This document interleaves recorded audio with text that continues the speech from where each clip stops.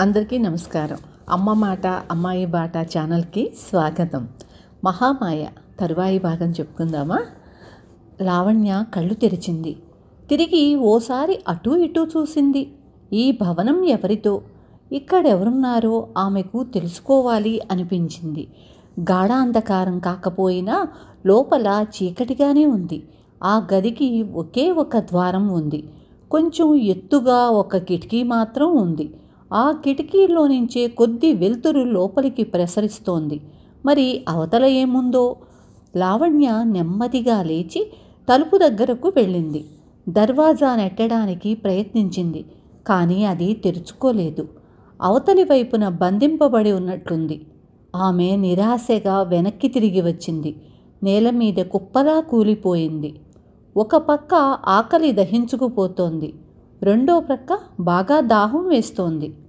ఉన్నట్లుండి ఆమెకు ఎక్కడి నుంచో ఎవరో మూలుగుతున్న శబ్దం వినిపించసాగింది. క్రమక్రమంగా ఆ ధ్వని ఎక్కువ కాసాగింది. కానీ ఆ మూలుగుడు ఎటు నుంచి వినవస్తోందో మాత్రం లావణ్య ముందు గ్రహించలేకపోయింది.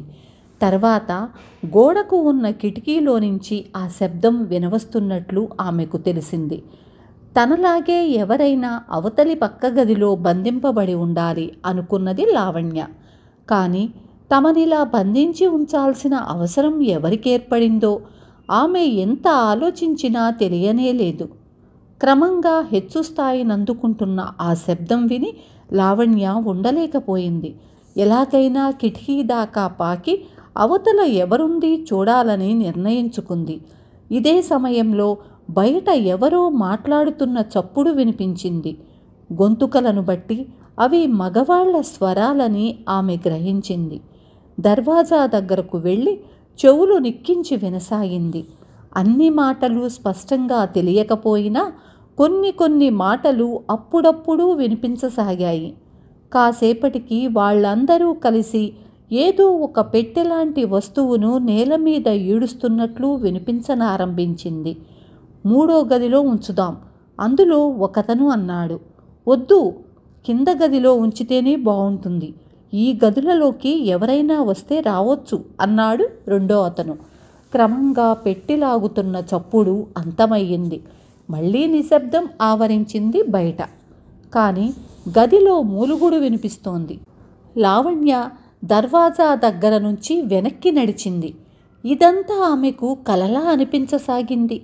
ఆ పెట్టెలో ఉన్నదేమిటో దానిని లాక్కు వచ్చిన వాళ్ళెవరో దాన్నిక్కడ ఎందుకు దాస్తున్నారో ఆమెకు తెలియకుండా ఉంది.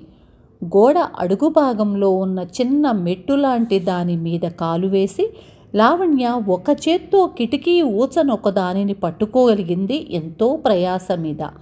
చివరికి నెమ్మదిగా రెండో చేత్తో కూడా మరో ఊచను పట్టుకొని పాకడానికి ప్రయత్నించనారంభించింది. ఆమె ప్రయత్నం ఫలించింది. ఆమె రెండో గదిలోకి తలెత్తి చూసింది. ఆ గదిలో కూడా అంత వెలుతురు లేదు. కొంత చీకటిగానే ఉంది. గదిలో ఓ మూలగా ఒక యువతి పడి ఉంది. ఆమె మూలుగుతున్నది. చీర అడ్డు రావటం వల్ల ముఖం సరిగ్గా కనిపించడం లేదు. ఇంతలో లావణ్య కాలు పట్టు తప్పిపోవడం వల్ల క్రిందకు జారింది. మళ్ళీ నెమ్మదిగా పైకి ఎగబ్రాకింది. ఈసారి ఆ యువతి లేచి కూర్చుని ఉంది. లావణ్య ఆమె ముఖం కేసి చూసింది. కిరణ్మయి లావణ్య ఆశ్చర్యంగా అరిచింది. ఆ అరుపు విన్న కిరణ్మయి కూడా కిటికీ వంక చూసింది. లావణ్యను గుర్తుపట్టగలిగింది. తనను విడిపించడానికి వచ్చిందేమో అనుకొని ధైర్యం కూడా తీసుకుంది. లావణ్య అని కిరణ్మయి హీనస్వరంతో అంది. మీరు ఇక్కడే బంధింపబడి ఉన్నారన్నమాట. మీరే స్థితిలో ఉన్నారో నేను అదే స్థితిలో ఉన్నాను. కాకపోతే కొంచెం నయం అని లావణ్య అంది. కిరణ్మయి ఆశ నిరాశ అయ్యింది. లావణ్య కూడా అవతలి గదిలో బంధింపబడే ఉందన్న మాట. మీరే స్థితిలో ఉన్నారో నేను అదే స్థితిలో ఉన్నాను. కాకపోతే కొంచెం నయం అని లావణ్య అంది. కిరణ్మయి ఆశ నిరాశ అయ్యింది. లావణ్య కూడా అవతలి గదిలో బంధింపబడే ఉందన్న మాట. తన సంగతి ఎలా ఉన్నా కిరణ్మయికి ప్రతాప్ సంగతులు తెలుసుకోవాలన్న ఆతురత కలిగింది. డేరాలో నుంచి మాయమైన తరువాత అతని విషయాలు కిరణ్మయికేం తెలియలేదు. లావణ్యకేమైనా తెలిస్తే తెలిసి ఉండవచ్చు అనుకుందామే. ప్రతాప్ గారి సంగతులేమైనా నీకు తెలిసాయా? అని కిరణ్మయి తిరిగి మందస్వరంతో అడిగింది. నాకేం తెలియదు. ఆయనను విడిపించడానికనే బయలుదేరి నేనిక్కడ చిక్కుకున్నాను. ఖాళీ ఏమైంది? మిమ్మల్ని విడిపించడానికని చిత్రగృహంలోకి వెళ్ళి ఉండాలి. ఈ కష్టాల కంతు లేదనుకుంటాను. కిరణ్మయి చివరికి నిరాశగా బాధగా అంది. ఇంతలో మళ్ళీ దర్వాజా దగ్గర ఏదో చప్పుడు వినిపించసాగింది. లావణ్య కిటికీ దగ్గర నుంచి క్రిందికి దిగి తలుపు దగ్గరకు వెళ్ళింది. చప్పుడును బట్టి ఎవరో తాను ఉన్న గది తాళం తెరవడానికి ప్రయత్నిస్తున్నారని ఆమె గ్రహించింది. ఎందుకైనా మంచిదని ఒక పక్కకు తప్పుకొని ఆమె తలుపుకేసి చూడసాగింది. మరుక్షణంలో అవతలి ప్రక్క కోలాహలం చెలరేగింది. ఎవరో యుద్ధం చేస్తున్నట్లు కత్తుల చప్పుడు వినిపించసాగింది. ఎవరో పారిపోతున్న ధ్వని వినిపించింది. మరొకరు కెవ్వుమని కేక పెట్టారు ఇదంతా వింటుంటే లావణ్య ఎంత ధైర్యవంతురాలైనా భయపడసాగింది. ఆత్మరక్షణార్థం తన దగ్గర చిన్న కత్తి కూడా లేదు. అకస్మాత్తుగా తలుపులు తెరుచుకున్నాయి. లావణ్య ఒక పక్కకు ఒదిగి నిలబడింది. కానీ లోపలికి అడుగుపెట్టిన కాళీని చూడగానే అంతులేని ఆశ్చర్యంతో కాళీ అని అరిచింది. ఈ సమయంలో కాళీ ఇక్కడ ప్రత్యక్షమవుతుందని ఆమె కలలో కూడా అనుకోలేదు. కాళీ కూడా లావణ్యను అక్కడ ఆ స్థితిలో చూడగానే చాలా విస్తుపోయింది. తాను ప్రతాప్ను కాపాడటం కోసం పంపించిన లావణ్య ఇక్కడ ఎందుకుందో ఆమెకు అర్థం కాలేదు. రెండు నిమిషాల వరకు అంతులేని ఆశ్చర్యాలతో మునిగిపోయి ఎవ్వరూ మాట్లాడలేదు. తర్వాత నెమ్మదిగా ఖాళీ అంది. బయట నేపాళీ ఉన్నాడు. లావణ్య రెండడుగులు బయటకి వేసింది. ఇంతకంటే నీకు ఆశ్చర్యకరమైన విషయం మరొకటి చెబుతాను. అయితే ముందు మీరిద్దరూ ఇక్కడికి ఎలా వచ్చారో చెప్పాలి అని లావణ్య అంది. విశేషమేమీ లేదు. రాయదుర్గాన్ని తిరిగి స్వాధీనం చేసుకున్న అనంతరం నరేంద్ర మహారాజు గారు మహామంత్రి జయంత్ ప్రతాప్ను విడిపించుకురావడానికని బయలుదేరాము. గుర్రాల మీద వెళ్తుండగా కొందరు భటులు ఒక పెట్టెను మోసుకు వస్తూ కనిపించారు. ఆ పెట్టెలో ఏముందో చూడాలని మాకు కుతూహలం కలిగింది. మహారాజాదులు కొంచెం దూరంలో విశ్రమిస్తున్నారు. మేమిద్దరం వాళ్ళను రహస్యంగా అనుసరించాము. చివరికి వాళ్ళ పెట్టెను తీసుకుని ఈ భవనంలోకి వచ్చారు. మేము చాటుగా ఉండి వాళ్ళిక్కడ ఏం చేస్తున్నది చూశాము. ఆ పెట్టెను ఒకచోట దాచారు. తరువాత అందులో కొందరు ఇక్కడికి వచ్చి ఈ గది తాళం తీశారు. తలుపు తెరిచేలోగా మేము వాళ్ళ మీదకు దూకాం. కొందరు పారిపోయారు అని కాళీ వివరంగా సమాధానం చెప్పింది. లావణ్య కూడా తాను ప్రతాప్ కోసం బయలుదేరింది. మొదలు ఇప్పటి వరకు జరిగిన సంగతులన్నీ ప్రోసగుచ్చినట్లు చెప్పి వినిపించింది. కాళీ కాసేపు మౌనంగా ఉండిపోయింది. ఇంతలో లావణ్య తిరిగి అంది మరో సంగతి చెప్పడం మర్చిపోయాను. నేనే కాదు. కిరణ్మయి కూడా ఇక్కడే ఉంది. ఈ పక్క గదిలో ఉంది. ఆ మాట వినగానే కాళీని ఆనందాశ్చర్యాలు తిరిగి ఆవరించాయి. గబగబా ఆ గది ముందుకు వెళ్ళింది. కానీ దానికి తాళం వేయబడి ఉంది. తాళపు చెవి లభించడం కష్టం. దానిని పగలగొట్టడం అసాధ్యం కూడా. కాళీ ఏమీ తోచక అటు ఇటు చూడసాగింది. నువ్వు కిరణ్మయిని చూడాలంటే నేను దారి చూపిస్తాను అన్నది లావణ్య. ఎలా? అని అడిగింది ఆతురతగా కాళి. లావణ్య తాను కిరణ్మయిని చూసిన పద్ధతిని ఆమెకు వివరించింది. కాళీ కూడా ఆ కిటికీ దగ్గరకు వెళ్ళింది. లావణ్యలాగే ఎలాగో తంటాలు పడి కిటికీ దాకా ప్రాకి కిరణ్మయిని చూడగలిగింది. కాళీని చూడగానే కిరణ్మయికి ఎంతో ఆనందం కలిగింది. నిరాశ చెందిన ఆమె మనసులో ఆశ తిరిగి అంకురించింది. ప్రతాప్ విషయాలు తెలుస్తాయేమోనని ఉబలాటపడింది కానీ కాళీ అక్కడ ఎక్కువసేపు నిలబడలేకపోయింది. ముందు ఆమెను ఆ గదిలో నుంచి విడిపించే ఉపాయం చూడాలి. తరువాత మిగిలిన సంగతులు మాట్లాడుకోవచ్చు. ఆ సంగతి కిరణ్మయికి చెప్పి కాళీ ఆ కిటికీ దగ్గర నుండి దిగింది. మనం వెతకడానికి బయలుదేరింది మరొకరిని. కానీ దొరికింది మరొకరు. అయినా ఇక్కడ ఒకరిద్దరు ఉండి ఈ పనిని పూర్తి చేయాల్సి ఉంటుంది అన్నది నేపాళీతో కాళి. సరే ఆ సంగతి ఆలోచిద్దాం. ముందు ఆ పెట్టె సంగతేమిటో తెలుసుకుని తర్వాత మహారాజు గారికి జరిగిన విషయాలన్నీ తెలియచేద్దాం అన్నాడు నేపాళి. ముగ్గురు అక్కడి నుంచి ఆ భటులు పెట్టి దాచిన చోటికి బయలుదేరారు. ఆ గదిలో ఒక భటుడు కాపలా ఉంచబడ్డాడు. వీళ్ళందరినీ చూడగానే అతడు భయపడిపోయాడు. వాళ్ళ వంక కంగారుగా చూస్తూ నిలబడ్డాడు. నేపాళి గది నాలుగు వైపులా పరిశీలనగా చూశాడు. ఆ గదిలో ఆ పెట్టెను వాళ్ళు దాస్తుండగా నేపాళి ఖాళీ చూశారు. కానీ ఎక్కడ దాచింది వాళ్ళు గమనించలేదు. ఇప్పుడు గదిలో వాళ్ళకా పెట్టె కనిపించలేదు. ఆ గదిలో వేరే సామాను కూడా ఏదీ లేదు. చుట్టూ బలమైన నాలుగు గోడలు ఉన్నాయి. మధ్యగా ఒక పెద్ద రాతి సింహపు తల ఉంది. ఆ పెట్టెను ఎక్కడ దాచారు? నేపాళి కోపంగా ఒక భటుడి వంక చూస్తూ అడిగాడు. కానీ అతను జవాబివ్వలేదు. తప్పించుకు పారిపోవడానికి మార్గమేమిటా అని ఆలోచించసాగాడు. నేపాళి తన వరలో నుంచి కత్తిని బయటికి లాగాడు. ఆ పెట్టెను ఎక్కడ దాచింది చెబుతావా లేక ప్రాణాలు తీయమన్నావా? అతను గర్జించాడు. ఆ భటుడు భయంతో వణికిపోయాడు.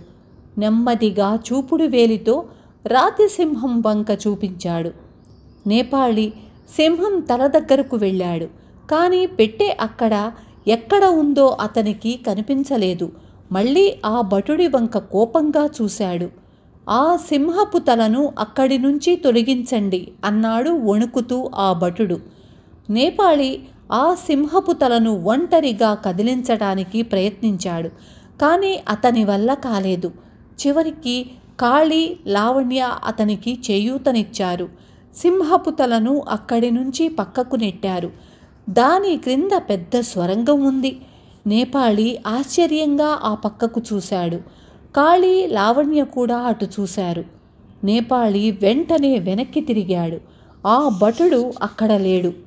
ముగ్గురు సొరంగం వంక ఆశ్చర్యంగా చూస్తున్న సమయంలో అతను పారిపోయి ఉంటాడు. నేపాళి వెంటనే అక్కడి నుంచి బయటకు వచ్చి అటూ ఇటూ చూశాడు. కానీ అతను కనిపించలేదు. మళ్ళీ వెనక్కి వచ్చాడు. సొరంగంలోని మెట్ల మీదుగా కిందకు దిగసాగాడు. కాళీ లావణ్య ఆ గదిలో అలాగే నిలబడి ఉన్నారు. నేపాళి కొంచెం దూరం వెళ్ళగానే ఒక గది కనిపించింది. దాని తలుపు తెరిచే ఉంది. ఆ గదిలోకి అస్పష్టంగా కాంతి ప్రసరిస్తోంది. నేపాళి గదిలోకి ప్రవేశించాడు. ఓ పక్కగా అతనికి పెట్టె కనిపించింది. ఆ పెట్టెను తీసుకొని నేపాళి వెనక్కి తిరిగాడు. ఎంతో కష్టం మీద కాళి లావణ్య ఉన్న చోటికి వచ్చాడు.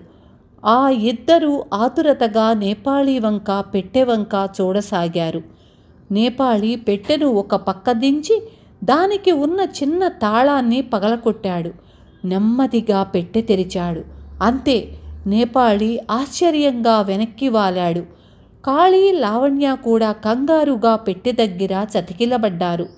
ఆ పెట్టెలో ఉన్నది ప్రతాప్. ముడుచుకొని పడుకున్నట్టున్నాడు. స్పృహ లేదు. అతను పడుకున్న తీరును బట్టి చూస్తే చనిపోయాడా బ్రతికి ఉన్నాడా అన్న అనుమానం నేపాళీకి కలిగింది. ముక్కు దగ్గర వేలు పెట్టి చూశాడు. శ్వాస లేదు. నాడి చూశాడు. చలనం లేదు. నేపాళీ అనుమానం మరింత దృఢపడసాగింది. స్పృహ తెప్పించడానికి తన దగ్గర ఉన్న మందులన్నీ వాడాడు. కానీ ప్రతాప్కు స్పృహ రాలేదు. నరేంద్ర మహారాజు జయంతు మంత్రి తంత్రవహి దట్టంగా ఉన్న చెట్ల క్రింద విశ్రాంతి తీసుకుంటూ నేపాళీ కాళీ కోసం ఎదురు చూడసాగారు గుర్రాలు పక్కనే స్వేచ్ఛగా నిలబడి ఉన్నాయి. వెళ్ళి చాలాసేపయింది ఇంకా ఎవరూ రాలేదు. కారణమేమిటో అన్నాడు మహారాజు మంత్రినుద్దేశించి. అదే విచిత్రంగా ఉంది. ఆ పెట్టెలో ఏముందో అనే అనుమానం కొద్దీ మనం వాళ్ళను పంపించాము. చివరికి వాళ్ళే అపాయంలోనైనా చిక్కుకోలేదు కదా అన్నాడు తంత్రవహి. నేపాళి అంత సులభంగా ఇతరుల చేతుల్లో చిక్కుతాడంటావా? మహారాజు నమ్మకంగా అన్నాడు. ఏమో చెప్పలేము. ఎంతటి వాళ్ళకైనా ఒక్కోసారి అపజయం తప్పదు. ఏ సమయంలో ఏం జరుగుతుందో ఎవరు చెప్పగలరు? అంతా దైవ నిర్ణయం. మానవుడు ప్రయత్నం చెయ్యగలవాడు మాత్రమే కదా? అని మంత్రి అన్నాడు. అతని హృదయంలో ఏదో అనుమానం అప్పటికే చెలరేగింది. అయితే నేనటు వెళ్ళి వాళ్ళేమయ్యారో ఒక్కసారి చూసి వస్తాను అన్నాడు జయంతు. అలా కాదు ఒంటరిగా వెళ్ళటం ఎవరికైనా ఈ సమయంలో మంచిది కాదు. వెళ్తే అందరం కలిసి వెళ్దాం అన్నాడు తంత్రవహి. మహారాజు సరేనంటూ తన అంగీకారాన్ని తెలియచేశాడు. ముగ్గురు లేవబోతున్న సమయంలో దూరం నుంచి ఒక గుర్రం వస్తూ కనిపించింది. ఏదో గుర్రం ఈ పక్కనే వస్తోంది. ఖాళీలాగుంది. అన్నాడు పరీక్షగా చూస్తూ జయంత్. కాసేపట్లో ఖాళీ వచ్చి గుర్రం మీద నుంచి దిగింది. ఆమె ముఖంలో కంగారు విచారము స్పష్టంగా కనిపిస్తున్నాయి. ఆమె నెమ్మదిగా మహారాజు దగ్గరకు వచ్చి తల వంచుకొని నిలబడింది. ఏం ఏం జరిగింది? పెట్టెలో ఏముంది? మహారాజు ఆత్రంగా ప్రశ్నించాడు. ఒక్క క్షణం వరకు ఖాళీ మాట్లాడలేకపోయింది. నెమ్మదిగా హీనస్వరంతో ఇలా అంది. ఆ పెట్టెలో ఏముందో చెప్పే ముందు మరో కొన్ని ముఖ్య విషయాలు మీకు నేను చెప్పాలి. అవేమిటో త్వరగా చెప్పు. ఆ పెట్టెను వాళ్ళు దగ్గరలో ఉన్న ఒక భూగృహంలోకి తీసుకువెళ్ళారు. మేము వాళ్ళను అనుసరిస్తూ అక్కడికి వెళ్ళాము. అదే భూగృహంలో లావణ్య కిరణ్మయ్యి కూడా బంధింపబడి ఉన్నారు. మహారాజు మంత్రి ఆశ్చర్యంగా తల్లు పైకెత్తి కాళీవంక చూశారు. లావణ్య అక్కడ ఉన్నదన్న సంగతి వినగానే జయంత్ ఆనందంతో ఉక్కిరిబిక్కిరైపోయాడు ఇంకా కాళీ ఏం చెబుతుందో అని కాళీవంక క్రీగంట చూడసాగాడు. మరి వాళ్ళను విడిపించే ఉపాయం ఏది చూడలా? అన్నాడు మంత్రి. ఆ భూగృహం అసలెవరిదో? మహారాజు అనుమానంగా అడిగాడు. పాడుపడినట్లున్న ఆ భూగ్రహం ఎవరిదో మాత్రం తెలియదు. అయితే ఆ గృహంలో ఎవ్వరూ లేరు. దాదాపు నిర్మానుష్యంగా ఉన్నట్లే. లావణ్యను మేము ఎలాగో విడిపించగలిగాము.